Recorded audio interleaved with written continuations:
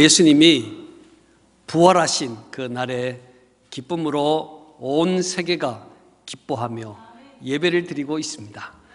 얼마나 그리스도인들에게는 기쁨의 날이고 축복의 날인가를 생각해 볼 때 예수 부활이 없었으면 우리는 과연 무엇인가? 라는 생각을 해볼 때 예수님의 부활은 우리 인생에 너무 소중한 시간이 되는 것입니다. 그 예수님의 부활은 우연하게 일어나는 사건이 아니라 역사적인 사건입니다. 먼저 구약 성경에 여러 많은 선지자들을 통해서 하나님께서 예언의 말씀을 주셨고 예수님 자신도 자신이 부활할 것에 대해서 세 번이나 예언을 해 주셨습니다. 마가복음 8장 31절에 보면 대표적인 구절인데 인자가 많은 고난을 받고 장로들과 대제사장들과 서기관들에게 버림바 되어 죽임을 당하고 사흘 만에 살아나리라 라는 말씀을 주님이 살아 계실 때 예고해 주셨습니다. 그 예고대로 십자가에 죽으신 지 사흘 만에 부활의 은혜를 경험하게 되었습니다. 부활 신앙은 기독교의 시작이고 기독교만이 참 구원에 이르는 길이라고 확신할 수 있는 것도 예수 부활이 있기 때문이다라는 사실을 우리는 기억할 수 있습니다. 그래서 오늘 본문은 부활의 증거, 진짜 예수님 부활하신 것 맞는가? 라는 증거를 위해서 부활 증인, 첫 번째 부활 증인을 통해서 예수님의 부활의 부활하심과 우리가 무엇을 향하여 살아야 될 것인가에 대해서 분명하게 주시는 말씀, 오늘 본문의 말씀입니다. 오늘 예수님의 부활의 첫 증인, 처음 예수님의 부활을 본 사람, 그러면 우리는 누구를 떠올릴 수 있겠습니까? 베드로, 제자들. 왜? 예수님이 살아 계실 때 얼마나 제자들을 많이 가르쳤습니까?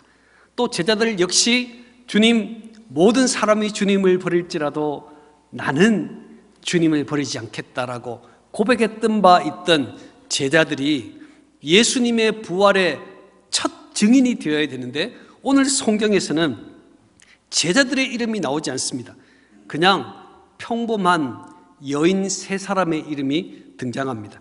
일곱 귀신 들렸다가 예수님 만나 치료받은 막달라 마리아와 야고보의 어머니 마리아와 살로메라는 세 명의 여인의 이름만 등장하고 있습니다.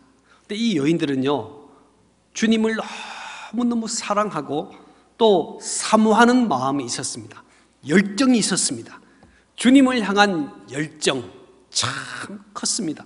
오늘 1절, 2절의 말씀을 한번 볼까요? 1절, 2절 말씀을 한번 읽어보겠습니다. 시작. 안식일이 지남에 막달라 마리아와 야고보의 어머니 마리아와 또 살로메가 가서 예수께 바르기 위하여 향품을 사다 두었다가 안식 후 첫날 매우 일찍이 질때그 무덤으로 가며 아멘. 안식 후 첫날은 주일을 말합니다.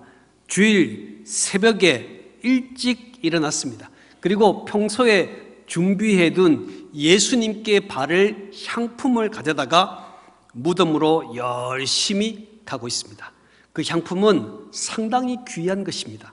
오늘 이 여인들은요, 아침에 일찍 일어나서 예수님의 무덤으로 향하는 열심이 있었고, 자신의 물질을 다 내어놓아서 예수님께 바를 향품을 준비하는 열심도 그에게 있었습니다. 참 한국교회 성도들 참 열심입니다. 새벽으로부터 시작해서 수요 예배, 금요 예배, 또 주중에 많은 봉사와 헌신의 시간들, 주일 거룩하게 지키기 위해서 수많은 노력하는 열심들, 정말 주님을 사모하는 마음, 한국교회 성도들 대단하십니다. 자, 우리 한번 옆 사람에게 한번 인사해 보실까요? 여러분은 대단하신 분이십니다. 오늘 이 본문에 등장하는 세 명의 여인도 진짜 대단한 열심입니다. 정말 대단한 열심이에요. 십자가 지실 때 마지막까지 그 자리를 지키고 또 주님 장사 지낸 받을 때도 마지막 무덤까지 따라가서 함께 슬퍼했던 여인입니다. 그리고 이제 안식일 후 첫날 주일이 되었을 때 예수님께 향품을 발라서 혹시라도 시체가 썩어서 냄새나면 어떡할까 생각하는 마음으로 향품을 준비해서 예수님의 무덤으로 가고 있는 이 세 명의 여인의 열심 우리가 따라갈 수 있을까 생각할 만큼 엄청난 열심입니다. 그러나 이 여인들에게 문제가 있습니다. 열심은 있었지만 예수님의 부활에 대한 바른 지식이 없었어요.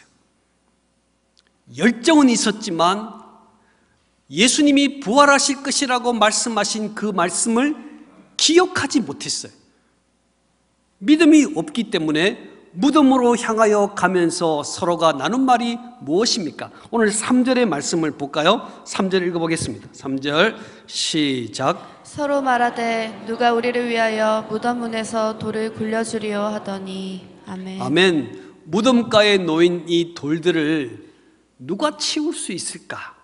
당시 무덤에는 큰 돌을 막아서 짐승으로부터 무덤을 보호하는 역할을 했습니다. 그래서 큰 돌이 막혀 있는데 대부분 2m에서 3m 넓이의 큰 돌입니다. 그러니 여인들 세 명이 아무리 가도 그 돌문을 굴릴 수가 없는 것입니다. 그래서 그들은 마음에 생각하기를 하, 향품은 준비하고 가는데 정말 예수님의 무덤 앞에 있는 그 돌을 어떻게 굴릴 수 있을까 생각하고 있는 것입니다.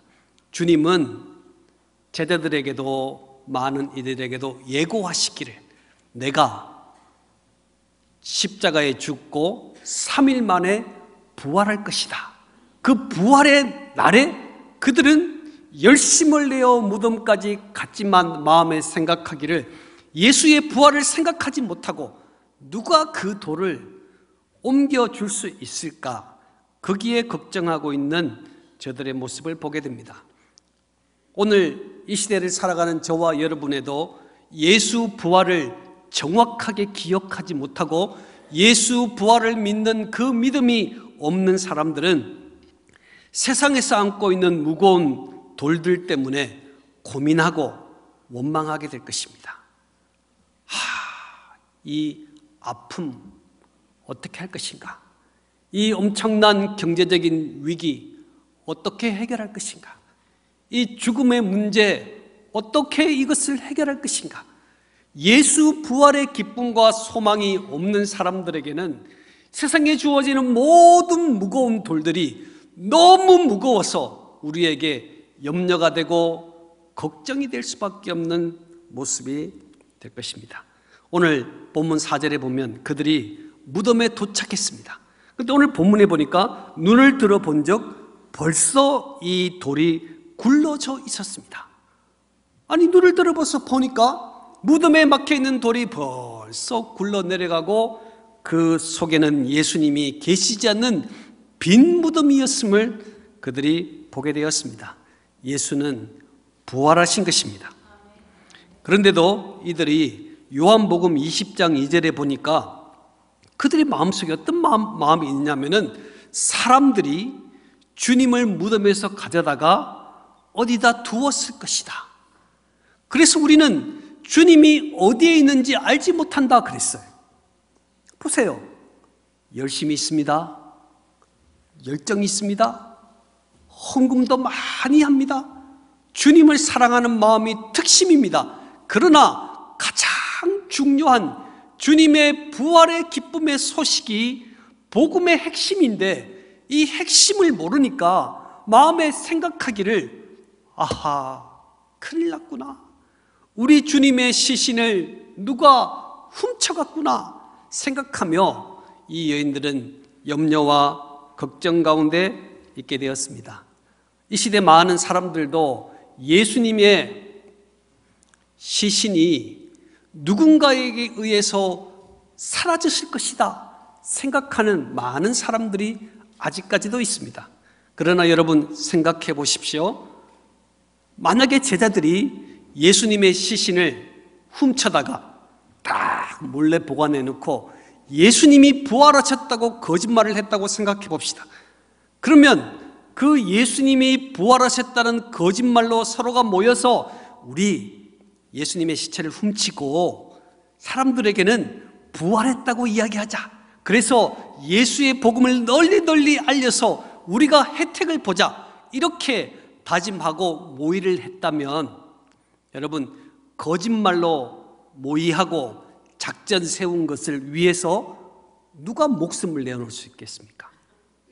아무도 누구도 목숨을 내어놓을 수 없습니다. 서로 합의해서 죄를 질, 죄를 다 짓고도 자기가 지금 감옥 가고 불리한 상황이 되면 저 사람이 그랬다라고 말하는 이 시대에 정말 거짓으로 만들어, 만든 그 이야기 때문에 누가 목숨을 내놓을 수 있겠습니까? 베드로는 거꾸로 매달려서 죽었습니다. 많은 제자들은 톱에 쓸려 죽고 고문당하다 죽고 수많은 주 예수 그리스도의 부활의 증인들은 목숨을 내어 놓아도 감사하고 기뻐했습니다. 왜 그럴까요? 부활하신 주님이 그들의 심령 가운데 주인으로 계셨기 때문입니다. 주님이 부활하셨기 때문에 이 역사적인 사실 앞에 많은 사람들은 기쁨을 올려드리는 것입니다. 사랑하는 성도 여러분, 우리 우리가 부활하신 주님을 온전히 신뢰할 때 내 마음속에 있는 걱정과 염려와 원망과 불신앙의 도를 해결할 수 있는 은혜가 저와 여러분에게 생겨나는 것입니다. 사랑하는 성도 여러분, 오늘 우리는 부활의 아침에 서 있습니다. 만약 우리가 주님의 부활하심이 거짓이라면 오늘 이 자리에 얼마나 부끄러운 모습으로 있을 수밖에 없습니다. 예수의 부활이 거짓이라면 우리만큼 초라하고 형편없는 사람들이 있을까요? 그러나 예수님께서 부활하셨기 때문에 우리에게 새로운 생명과 구원을 주셨기 때문에 저와 여러분은 이 세상에서 가장 행복한 사람이 되는 것입니다. 자, 같이 한번 해볼까요? 당신은 가장 행복한 사람입니다. 주님이 부활하셨기 때문입니다. 할렐루야. 네. 오늘 이 여인은 부활의 기쁨을 체험하지 못합니다. 예수님이 부활하셨다는 것은 엄청난 놀라운 사실인데 이 여인의 마음은 기쁘지 않습니다. 왜요? 예수님이 부활하셨다는 이 사실을 믿지 못하기 때문입니다. 오늘 이 시대, 오늘 이 여인들의 모습을 보면서 오늘 저와 여러분의 모습을 충분히 볼 수가 있습니다.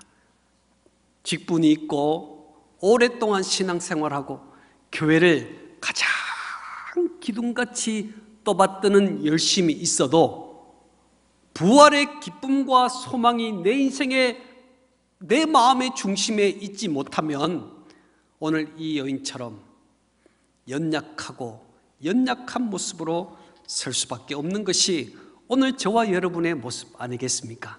저와 여러분은 부활 신앙을 믿고 있습니까? 우리에게는 주님의 부활에 확신된 소망이 저와 여러분에게 있습니까? 네, 우리 사람에게 물어봅시다. 아주 중요한 거예요. 당신에게는 부활 소망이 있습니까? 네. 이 시간에 졸면 안 돼요. 자, 다시 배울까요? 당신에게는 부활 소망이 있습니까? 그래요. 오늘 빈 무덤 가운데 있었습니다. 거기에 흰 옷 입은 청년이라 했지만 천사가 주님의 자리에 대신 딱 앉아 있었습니다. 그리고 여인에게 부활의 소식을 전해주고 있습니다. 6절이죠. 한번 읽어볼까요? 6절 읽겠습니다. 시작. 청년이 이르되 놀라지 말라 너희가 십자가에 못 박히신 나사렛 예수를 찾는구나 그가 살아나셨고 여기 계시지 아니하니라 보라 그를 두었던 곳이니라 아멘. 아멘. 오늘 이 여인에게 부활의 소식을 먼저 전해주면서 놀라지 말라 그랬어요. 놀라지 말라. 왜요? 모든 것이 하나님의 계획 가운데 주어지기 때문에 놀라지 말라. 오늘 저와 여러분이 어떤 어려움을 경험하고 있습니까? 내 인생에 찾아온 무거운 돌처럼 힘든 고난의 모습들이 우리에게 있습니까? 주님은 오늘 우리들에게 부활 소식을 전해주면서 놀라지 말라 말씀하셨습니다. 왜요? 모든 것이 하나님의 계획 속에 있다라는 것입니다. 여러분, 부활신앙 가진 사람들은 놀라지 않습니다. 부활신앙 가진 사람은 두려워하지 않습니다. 왜? 하나님의 계획 가운데 모든 것이 있기 때문입니다. 여러분, 두려운 마음으로 이 자리에 있습니까? 주님의, 부활하신 주님의 음성을 들으시기를 바랍니다. 놀라지 말라, 놀라지 말라. 예수는 살아나셨고 여기 계시지 아니하니라. 여러분, 복음의 이 놀라운 메시지는 오고 오는 시대에 너무너무 중요한 사실입니다. 예수는 부활하셨습니다. 예수 그리스도는 부활하셨습니다. 이 놀라운 메시지 앞에 얼마나 많은 사람들이 헌신하고 수고하고 하나님 앞에 나오는지를 아십니까? 두려워하는 사람들에게 놀라지 말라. 주님이 부활하셨느니라. 낙심하고 있는 우리들에게 놀라지 말라. 주님이 부활하셨다라고 말씀하시는 이 약속의 메시지가 우리 심령의 소망과 기쁨과 감사가 되는 것입니다.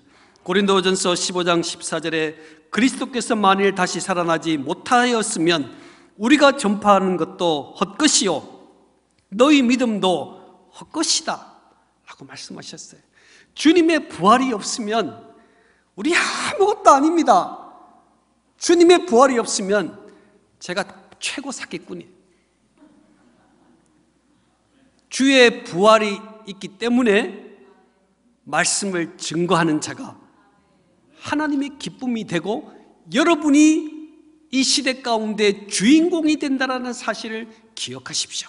여러분 당당하게 이 시대를 살아가십시오. 주님 부활하셨기 때문입니다. 여러분 우리 가정을 위하여 당당하게 기도하십시오. 여러분의 직장을 위하여 담대하게 기도하십시오. 왜요? 주님이 살아나셨기 때문입니다. 할렐루야. 네, 오늘 나사로가 죽음에서 일어났습니다.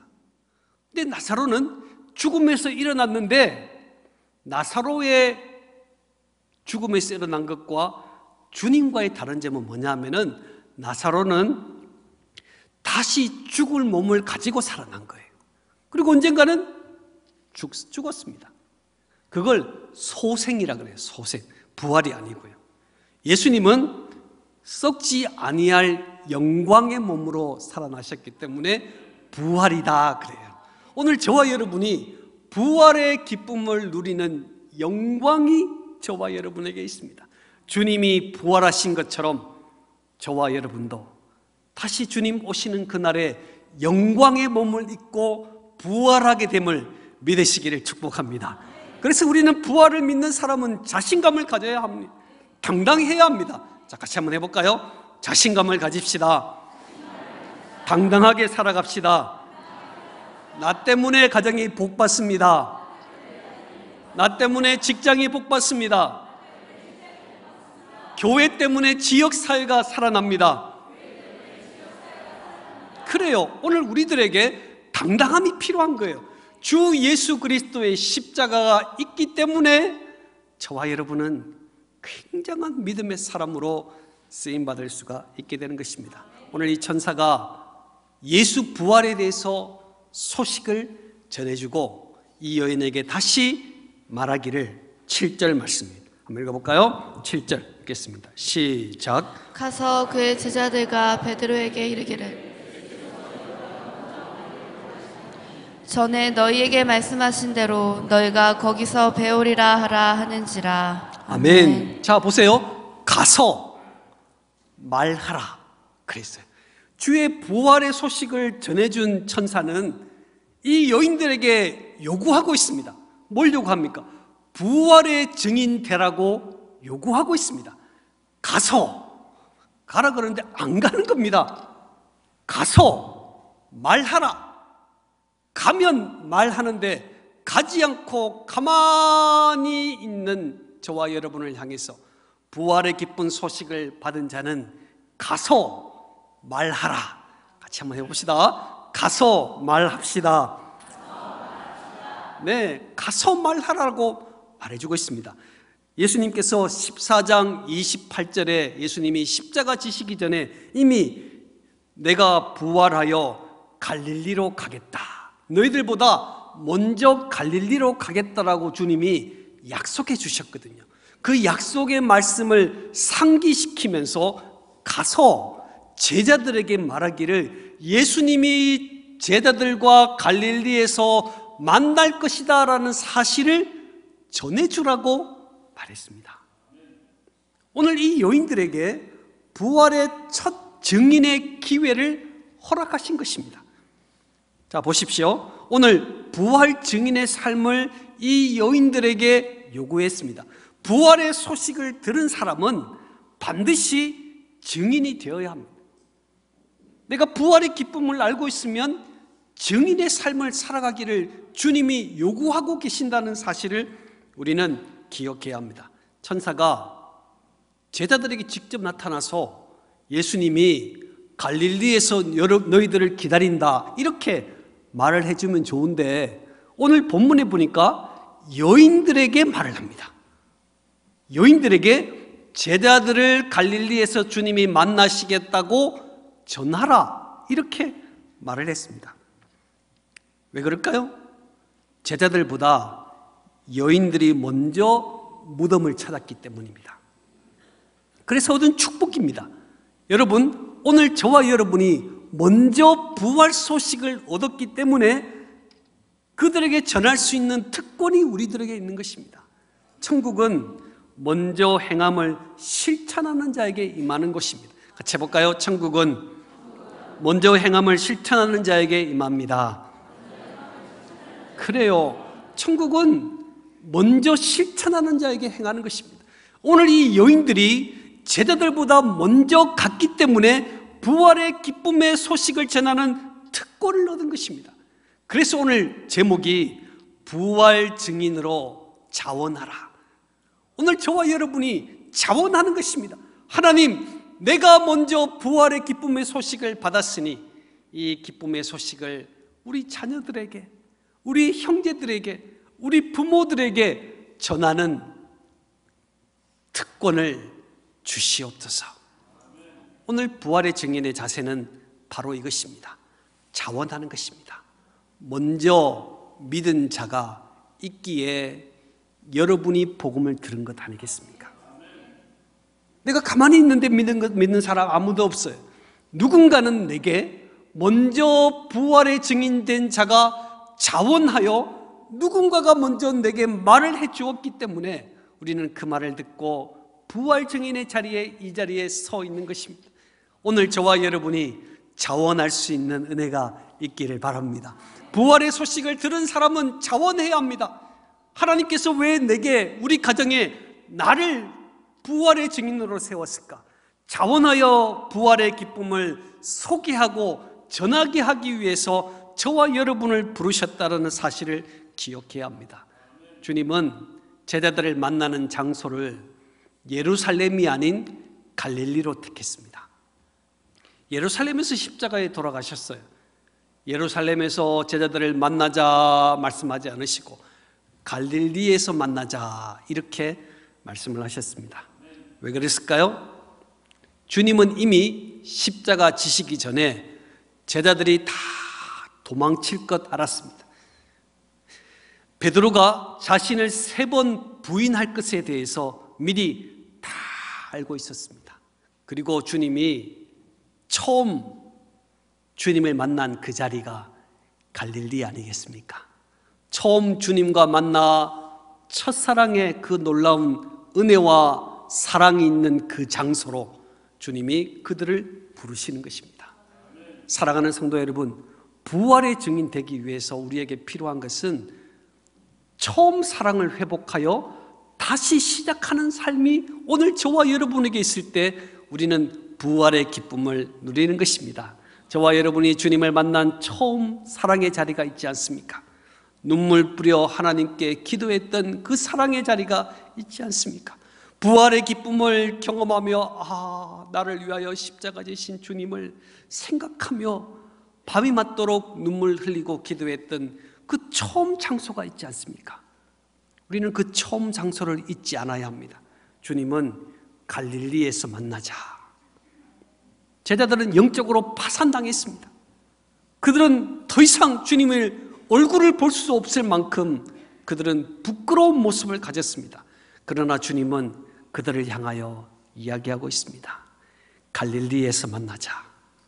처음 사랑을 회복하여 우리 다시 부활 증인으로 쓰임 받자라고 주님은 우리에게 말씀하고 있습니다. 오늘 저와 여러분에게도 부활 주님이 동일하게 말씀하고 있습니다. 처음 사랑 잃어버렸냐? 고난의 자리에 있냐? 힘든 자리에 있냐? 처음 사랑 다시 시작해서 갈릴리에서 다시 부활증인 삶을 살아가자고 우리 주님은 말씀하고 있습니다. 그러나 이 여인들을 보십시오.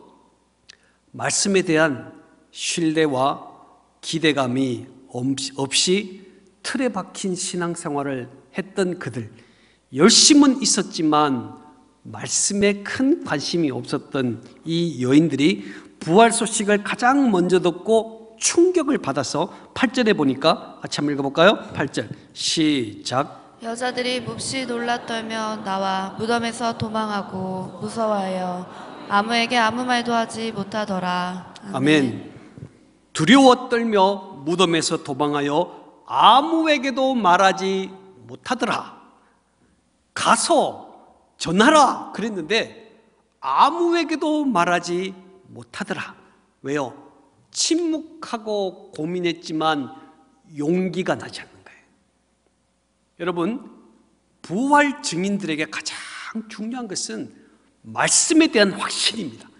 하나님이 내 인생에 주신 말씀에 대한 확신, 이 확신이 저와 여러분에게 있을 때 용기 내어 부활의 소식을 전할 수 있습니다. 오늘 이 여인들은 주의 기쁨의 부활의 소식을 들었지만 두려웠습니다. 그리고 무덤에서 도망가서 아무에게도 말하지 않고 가만히 침묵하고 있습니다. 그때 주님이 다시 이 여인들을 만나게 되었습니다. 구절 말씀. 자, 한번 볼까요? 주님이 친히 이 여인들을 만납니다. 한번 볼까요? 시작. 예수께서 안식 후 첫날 이른 아침에 살아나신 후 전에 일곱 귀신을 쫓아내어 주신 막달라 마리아에게 먼저 보이시니 아멘. 두려워 떨고 아무에게도 말하지 않는 이 여인 중에 막달라 마리아에게 제일 먼저 주님이 찾아갔습니다.